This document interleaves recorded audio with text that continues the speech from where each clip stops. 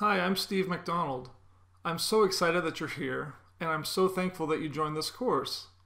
I love teaching. In fact, I'm currently teaching over 12 courses on Udemy.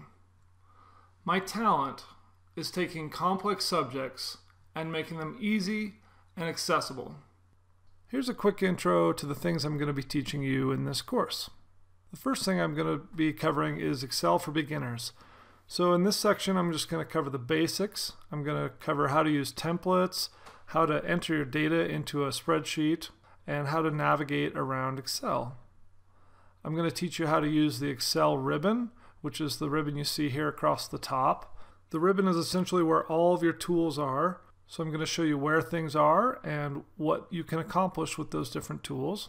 I'm going to cover saving and printing your Excel spreadsheets and worksheets. I'm going to teach you how to create a spreadsheet from scratch.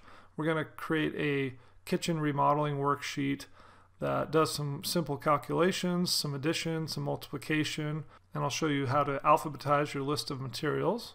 I'm going to show you how to create some formulas to make doing those calculations quicker and easier.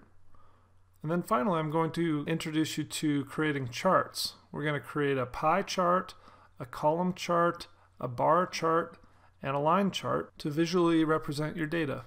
So I'm really looking forward to teaching you and I'm excited to get started.